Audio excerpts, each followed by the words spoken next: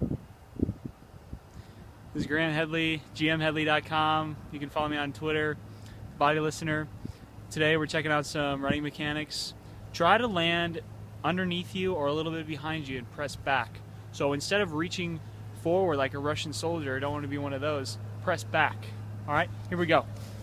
So we're pressing back, we're landing underneath your foot, you're pressing back. Bending the head.